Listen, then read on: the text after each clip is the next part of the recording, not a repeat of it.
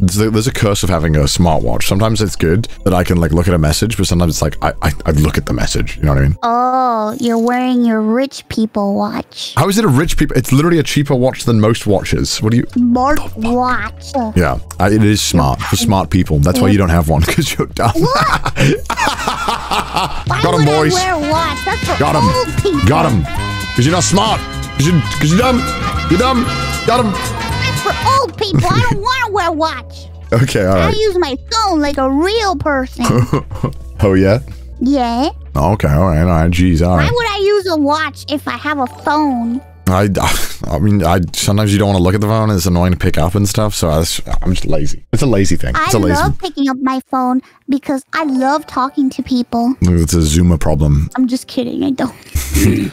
Uh, my load on your face. Thank you for the ten subs. Um,